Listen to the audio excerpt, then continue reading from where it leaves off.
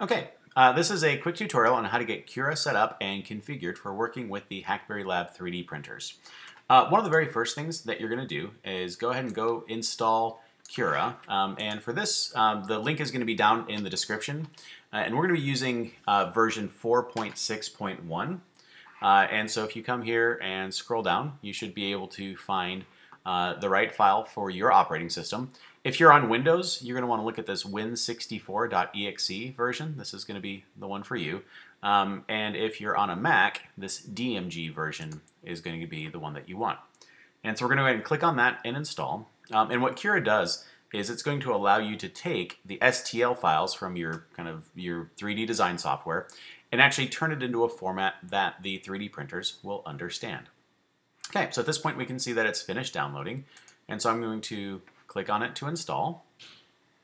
And this may take just a, uh, a hot second, but that's okay. Okay, so at this point it's open, and I'm going to go ahead and click and drag it into my applications folder. Um, that's going to transfer all of its files. Now you can see that says, you know, there's already one that exists here, and that's okay. We can click replace. Um, I already have it installed, which is why it says that. Um, but you'll want to drag yours into the application folder, especially if you're installing it for the first time. And that should just take a few seconds.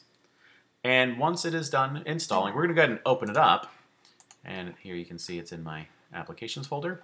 Uh, and we're going to need to do uh, some, some configuration, like I said, in order to work with the specific 3D printers um, that we are using uh, in Hackberry Lab.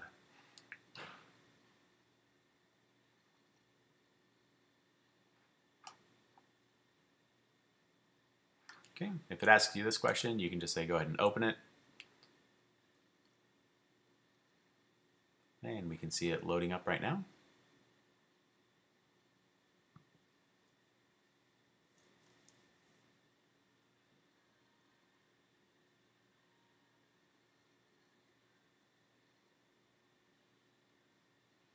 Okay. And once it's open, again, you may kind of hit close or something like this. Um, it says that there is a an update available, and we've been avoiding this one because we've had some small issues with it, so you can go ahead and kind of click away from that. Um, and what you may do here um, is we kind of want to get this set up to be able to uh, work with the specific type of filament that we use, the very specific type of printer that we do. Uh, and so here I'm going to say add printer, uh, and we're going to add a non-networked printer. Um, now at this point, we're going to kind of close down this little drop-down window, if it'll let us. Um, or we can scroll down.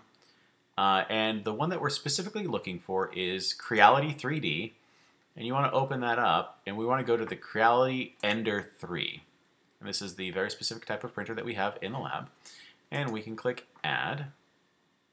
And in here, uh, let's just go ahead and that should autofill with all of our uh, settings in um, just as normal. Okay, and at that point we've added in our uh, 3D printer.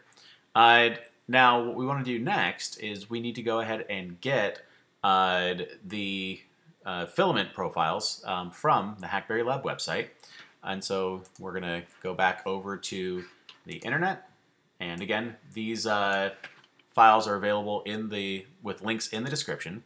Um, and so if we click that link, that's going to open up these profiles. And what we'll do here is we'll hit this download button to download those files.